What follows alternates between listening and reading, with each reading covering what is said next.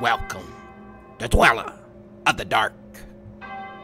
We are a channel honoring the yellowed and blackened bones of many prominent authors. We will be digging up several obscure, strange, and forgotten authors who influenced many of the great horror, science fiction, and fantasy writers to date.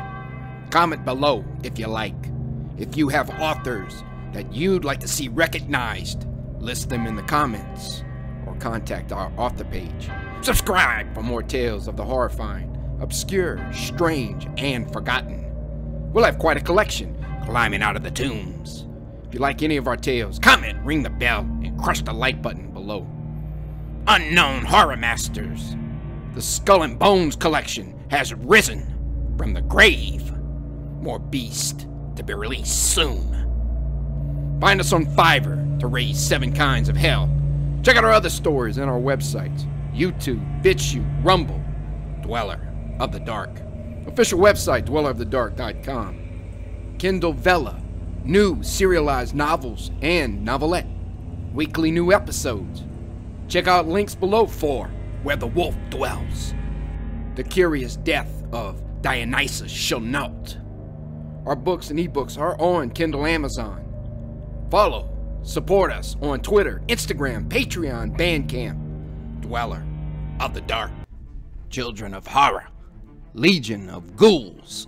Tonight, we continue our celebration of Halloween. Each night, we will be presenting tales of the best Halloween horrors ever conjured to terrify, haunt, and delight.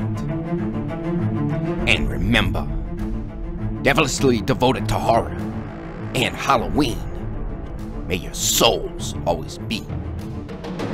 Episode 10 is Hell's Forge, Chapter 1, dedicated to that famed howler, Thomas Swafford, the bloodthirsty Leviathan, Sharky Sharkums, the abomination with a horrific bowel disorder, Carl Meyer, the ghoulish harbinger of destruction, Hottie and his girl, the shape-shifting beast from beyond the stars, Mick Rogers, the terrifying Colossus, Tim Clissold, that fiery fiend, ARW CWB, the monstrous maniac with a machete, Max Scherzer, and the lurking demon in our view, JC Huckabee.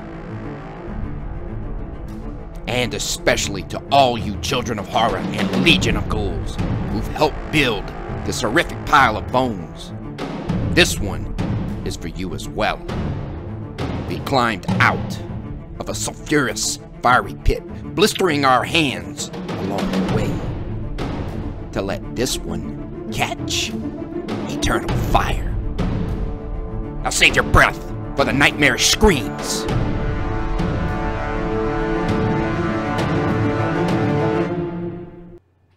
Hell's Forge, Chapter 1. September 3rd, 2022. New Orleans, Louisiana. Trampas Hock Funeral Home. Madeline Hetfield Funeral. Roger Hetfield was overwhelmed by the fragrant scent of roses. Red roses lined both sides of the hallway entering the Trampas Hock Funeral Home. Each of the floral arrangements had been gifted to him for his wife's funeral. Each, to his disgust, carrying a card of hollow condolence or feigned sympathy. How these people, who had sent such hypocritical atrocities, never knew how Madeline Hetfield hated their false cordiality. He growled to himself. These academic hypocrites mock my beloved Madeline, even in death, with their endearing cards of ridicule.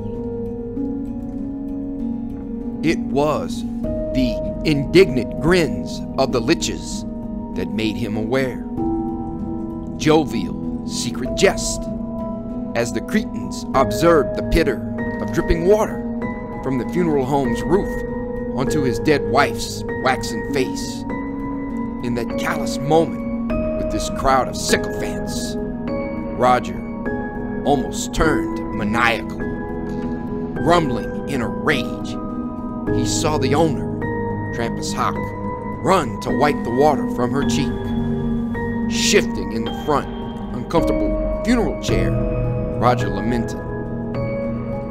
One had known she was dead from a distance, they can only do so much with the cadaver wax. One would think my Madeline was crying at her own funeral. Thankfully, the procession of friends and colleagues didn't take too long to show up and pay their respects to the deceased. Their funeral speeches were brief.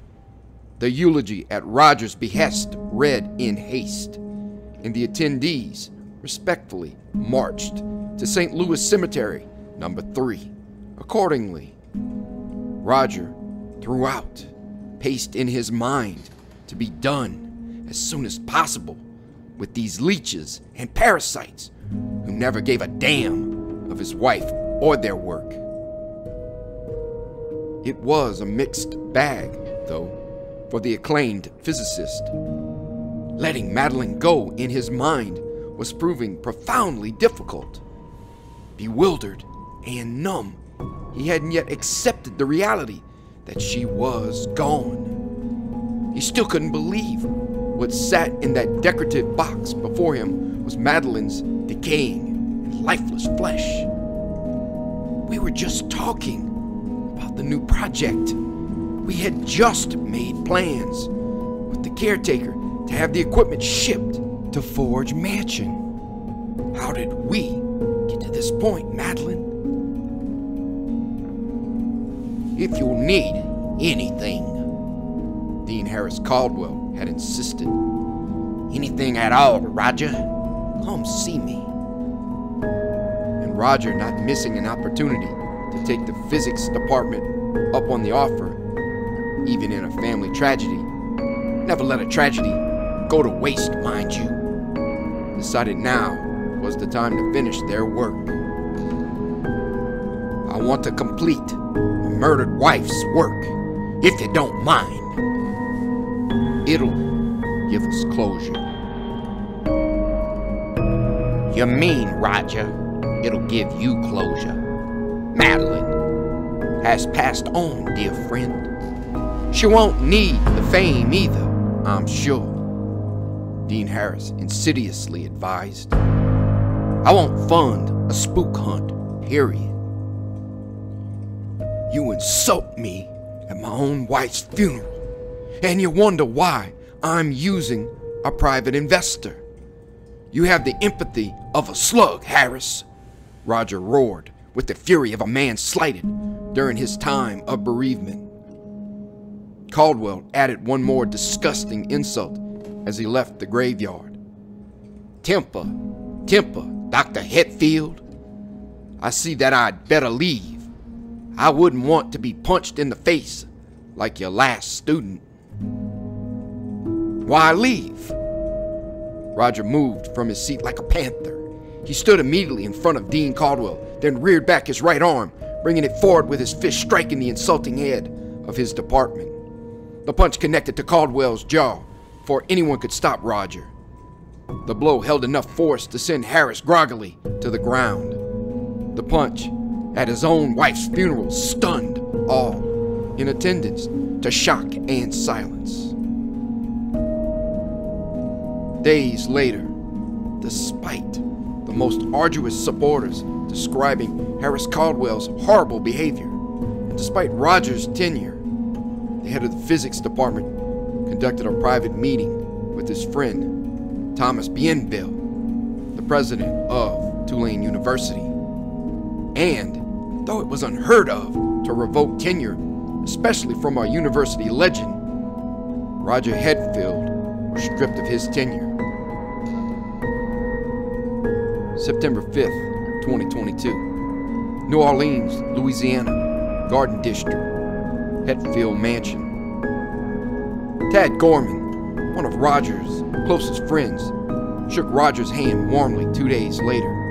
It had been nearly two days since the events of Madeline's funeral. His right hand assistant of their recent particle accelerator project even shoot in members of Roger's former team through the expanse of marble and wood.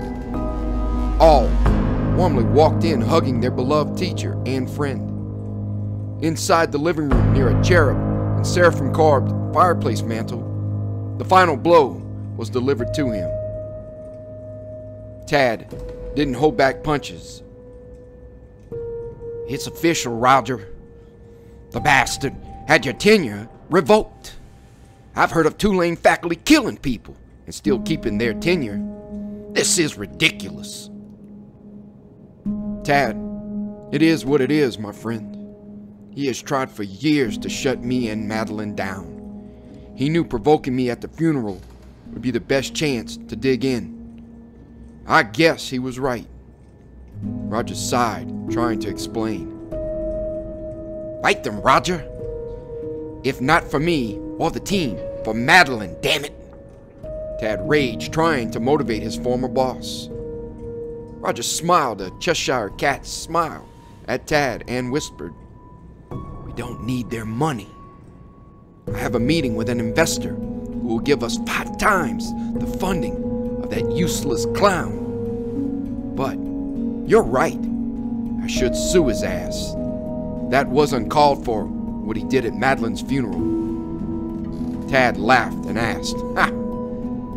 I guess you'll be needing a team if this investor comes through. Why? You know anybody looking for a job? Roger asked, already knowing the answer. The entire physics faculty and a few other departments would quit to work for Roger Hetfield.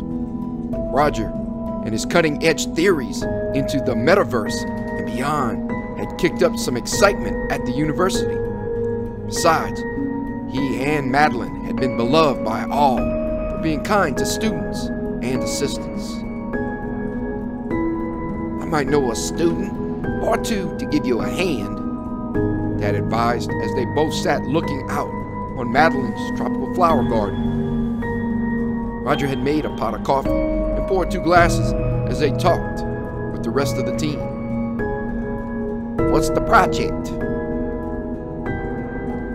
Roger looked at the four girls and four guys that had made up their particle accelerator program. Each were wide eyed and fidgeting with eagerness awaiting Roger's answer. Roger, in the moment, recalled each student's role in their previous successes. The long hours and the tireless commitment by each had been commendable. He watched the project lead, Karen Matheson, push back a loose curl of blonde hair intensely. Roger had recalled her brilliant theoretical calculations for the quarks. Then he turned to his right, studying a tall, athletic man with brown hair and eyes, Jude Labar. Roger deepened his brow, thinking of Jude's tremendous contributions. As Roger looked on, Jude brushed back his brown hair flippantly, waiting for Roger's answer. But all the while, he and a third student competed flipping a pencil between their fingers.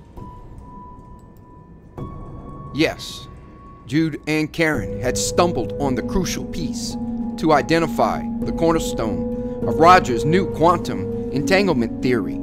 It had been Jude's pivotal work that led to Roger and Madeline's breakthrough with the spooky action at a distance. Roger remembered Jude had really kicked things up with calculations that proposed new pathway behaviors for muons. Together with the rest of the team, they had unlocked new doors of understanding for quantum entanglement. What this meant for the future frontiers of science was anyone's guess. But for Roger, the discoveries now proved dire. The team's work had allowed him to build the machine. With this device of Roger and Madeline's scientific devotion, the very walls of finality, maybe even death itself, could be breached. Scratching the stubble of his unshaved face, Roger studied the ambitious eyes of each team member as they sat across from him. He warned, I don't know if you want to follow me on this one, boys and girls. We just worked with you on the CERN project. That was about as dangerous as it gets, Dr. Hetfield. According to some, we might have opened our universe to all types of Lovecraftian nasties. Karen snickered, leaning back in her chair. Roger thought she looked almost angelical in the radiance of the sun. Upon hearing her snickering, Tad and everyone bellowed howls of laughter. You and that weird giggle, Karen. It's too much. Roger tried not to smirk. Keeping a stern composure, he reminded everyone of the inherent dangers of exploring the subatomic universe. We still don't know if delving into those fields might not bring about some time anomalies, phase distortions, or aberrations, Miss Matheson. But you are correct. No critters showed up, nor any weird mist when we let the particles fly. A bearded, slightly chunky John Fontenot asked, Are we going back to CERN? Or is this new financier ready to finally build our facility in Louisiana? Or she would like to do research in our own backyard? It's not CERN. And it's going to be more dangerous than before. This will be a project that Madeline and I have worked toward our whole. Roger stopped. He had to steel his emotions before he almost cried. He maintained composure and continued. Madeline would have wanted me to complete this. Okay, Doc. What's with all the secrecy? Tell us, what's this new and dangerous project? Jude pressed Roger for the answer. He took a sip of his own coffee in a white cup. Then once again brushed back his flowing hair. Forge Mansion. Roger saw Jude freeze drinking his coffee. He also noted Karen and the rest of the team stare in disbelief. Tad broke the moment of silence between everyone. He hurriedly gulped a shot of his coffee, then asked, Forge Mansion? Why do I know the name, Dr. Hetfield? From what I recall, it's not really a science related place. I argue it is, Tad. Roger wasn't saying anything beyond what he'd given already. An African American woman, Alicia Neville, brushed back the twist of her rainbow colored hair. She whispered to Tad, nodding, Forge Mansion, Dr. Gorman, is the former home of blues musician Thaddeus Forge. He ran the roads with your favorite blues man, Lonnie Johnson, back in the early 1920s. Forge might have been an actor, too. A 20 year old man with raven black hair that was thinning, Alex Jericho, adjusted his thick glasses, exclaiming, Hey, wait a minute, Dr. Hetfield. He's the guy that disappeared over a hundred years ago. He ran a say. Yes, Alex, and Miss Neville, Roger interrupted. Thaddeus Forge was a musician and actor. I believe he was supposed to have a supporting role for one of Rudolph Valentino's movies, The Sheik. But Valentino felt Forge was upstaging him and had him removed from the film. Naturally, it's gossip and rumor. No one is still alive to give us the real story about what happened. He stood to face the group with the waning sun casting the rays off his back. There was hoodoo, voodoo nonsense related to his disappearance. Some local curse on how he got famous, too. It's more in line with the Robert Johnson Crossroads legend. I don't care about that. Jude narrowed his eyes and leaned in. What's the nonsense, sir? My mama and friends believe in some of that stuff. We got Black Bayou in our backyard, you know. Too many strange things happen out in the swamp. Yeah, what gives, Dr. Hetfield? You never struck me as a superstitious guy. Perry, PJ Chigazola, a tall, lanky gentleman, leaned forward asking. The red curls of his flowing hair seemed to catch fire in the last rays of sunlight. What's this got to do with particle physics? PJ, it has everything to do with particle physics. Roger took a deep breath, then looked on the faces of each of his team. I believe the CERN and the G2 research were the finds of a century. And not just because of improved tracking of quarks and muons, but something more profound. I believe we went further than anyone could believe, identifying the existence of extraterrestrial particles affecting electric fields was just one part of it. Whether those particles amplify or take away from other electrically charged particles was the bigger question. Actually, proving time dilation occurred was the icing on the cake. Roger beamed proudly and extended his arms out with his final words. Team, with your calculations and with the collider, Madeline, God rest her soul, and I were able to fit the biggest piece into a theory that perplexed Einstein until his dying day. And now, setting up a laboratory at Forge Mansion, we will put the piece in place. May Einstein roll over in his grave when we do. A tall, chiseled Scottish lad in his late 20s, Ricky R.C. Calhoun, asked sarcastically, Well, it's just wonderful that we have more endless hours of research work, Doc. I'm down with solving the universe's mysteries, but I am puzzled beyond words at exactly what we'll be trying to solve at Forge Mansion. I mean, rather, I'm perplexed at the type of physics lab you set up in a haunted house. And make no bones about it, my friends. This is the most notorious spook house of them all. A place that I read about in one of those classic horror dregs. Why must we do research in the most horrific haunted house in the Appalachian Mountains? In the moment, R.C. looked more like an Arthurian knight of old than a physics student. From what Roger could guess, his questions seemed to be on everyone's mind. Roger answered, There are places, R.C., that science has struggled to find answers for. Places that emit a type of energy, dark matter or otherwise, that has an effect on people. I believe such places exist, and we've been looking at them through the wrong lens. Energy is energy, for better or worse. Detecting it or understanding it and its applications is the core of what we all have dedicated our lives to.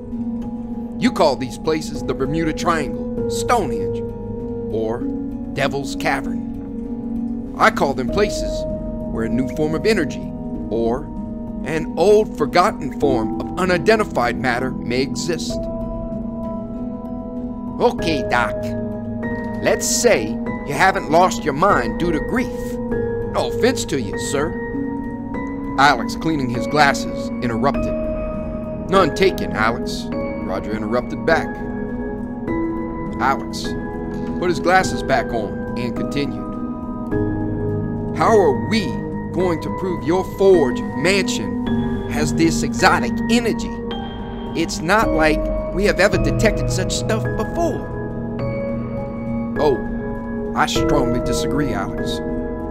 Roger Hetfield smiled a wide, knowing smile at his brilliant team. He sat back in his chair, looked out to Madeline's flower garden, then turned back to address the puzzled group of scientists.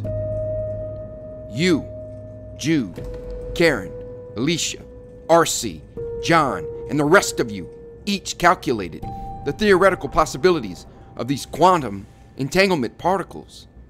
It's why I picked all of you, except Janice. But your work had a bigger purpose. Karen tilted her neck and lifted a brow curiously. What was the bigger purpose, Dr. Hetfield?